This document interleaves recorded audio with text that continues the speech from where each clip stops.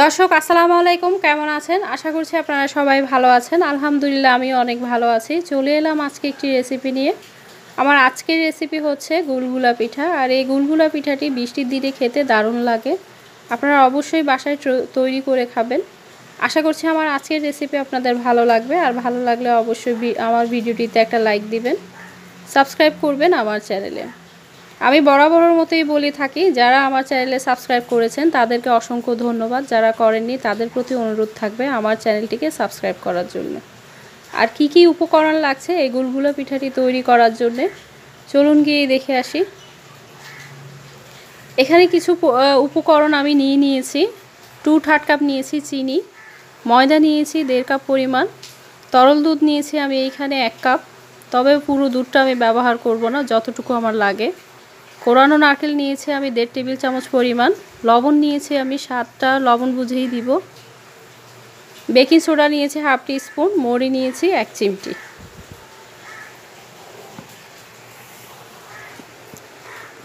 এখানে বড় সাইজের একটা বোল আমি নিয়ে নিয়েছি।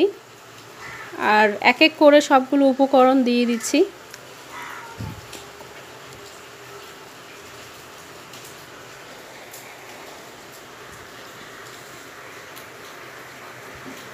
এবার দিয়ে দিচ্ছি হাফ কাপ পরিমাণ তরল দুধ। যদি তরল দুধটা আপনাদের হাতের কাছে থেকে না থাকে, তাহলে আপনারা গুঁড়া দুধ দিয়েও তৈরি করে নিতে পারবেন। এবার দিয়ে দিলাম মরি আর স্বাদ মতো দিয়ে দিয়েছি লবণ। এবার একটা পেঁচুলারের সাহায্যে ভালো করে মিশিয়ে নিচ্ছি মিশ্রণটাকে। ভালোভাবে মিশিয়ে নিতে হবে। আর এই কাজটি আপনারা বা একটা হ্যান্ড হুইস বা একটা চামচ দিয়েও আপনারা তৈরি করে নিতে পারেন। আর এই পর্যায়ে চিনির দানাদার অংশটা থাকা যাবে না। ভালো করে মিশিয়ে নিতে হবে।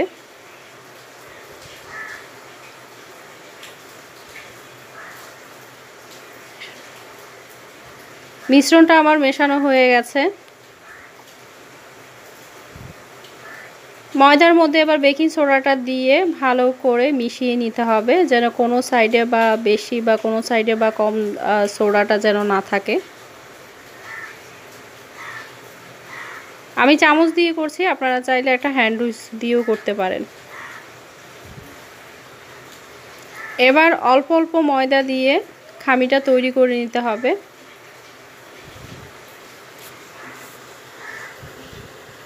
সবগুলো ময়দা একসাথে দিতে যাবেন না।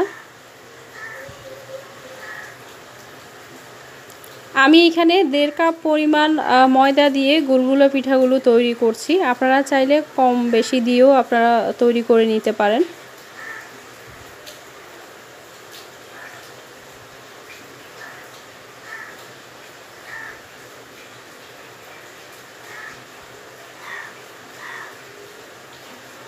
খামিটা আমার তৈরি হয়ে গেল।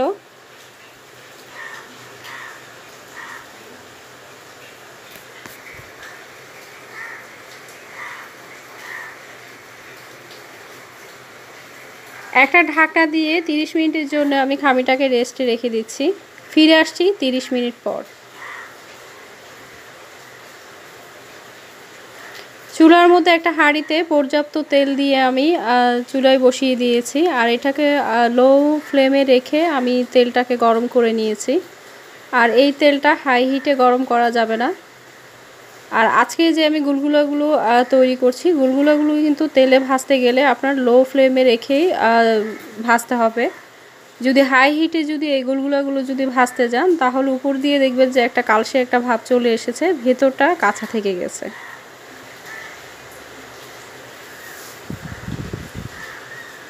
হাতের মধ্যে আমি একটা খামি নিয়ে নিয়েছি, অল্প পরিমাণ, আর দুই হাতের তালু দিয়ে একটা বলের শেপে তৈরি করে নিলাম।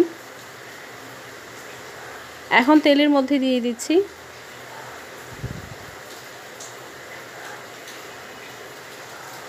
আর আপনারা তেলটা দেখতে পাচ্ছেন কতটুকু গরম হয়েছে। আমরা গোলাপ জামুর মিষ্টি যেভাবে তৈরি করি তেলে দিয়ে, ঠিক সেইভাবেই কিন্তু গুলগুলো পিঠাগুলো তৈরি করে নিতে হবে। এবার এক এক করে কিছু গোলগুলো আমি দিয়ে দিচ্ছি তেলের মধ্যে।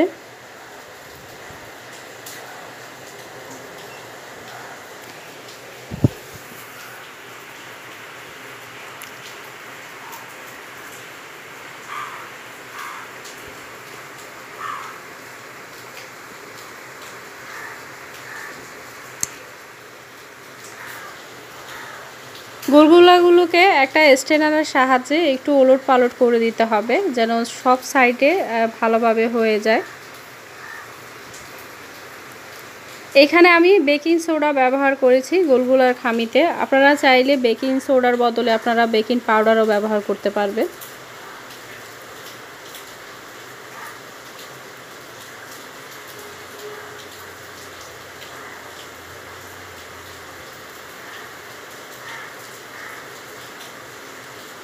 এবার একটু ওলট পালট করে দিয়ে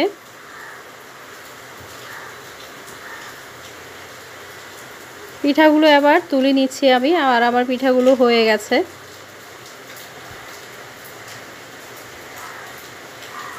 প্রথম যে পিঠাগুলো আমি ভেজে নিয়েছিলাম আরও কিছু খামি আমার রয়ে গেছে পিঠার। শেষের পিঠার খামিগুলো কিন্তু আমি এইভাবে বলের মতো শেপে তৈরি করে তেলের মধ্যে দিয়ে দিচ্ছি।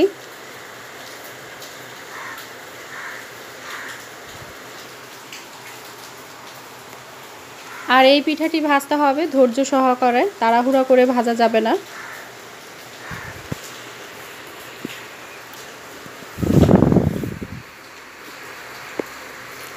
একটা পিঠা আমি আপনাদেরকে ভেঙে দেখাচ্ছি। পিঠার ভেতরে কেমন হয়েছে।